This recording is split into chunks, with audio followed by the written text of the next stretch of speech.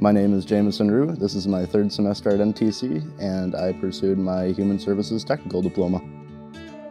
Yeah, so uh, being in PTK, I learned a lot about being out in the community and how important it is to volunteer and getting to make connections with people and help people that need it.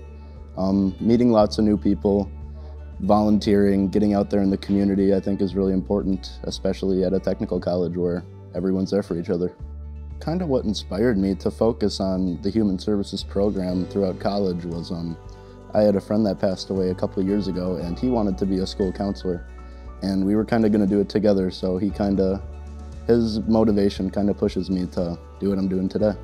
We were seniors in high school and we took all dual credits and family consumer science classes and in that summer when he passed away I was kind of you know, got to push through it, got to do it with him, you know, whether he's here or not. After graduation here at NTC, I am transferring to UW Stout to pursue a bachelor's degree in family studies and a master's degree in school counseling. So I'm very excited for that. I was very close with probably every guidance counselor I've ever ever had, just for some reason. I, I think that high schoolers kind of need that push to get out of high school, so helping with that is always something that I've thought was important.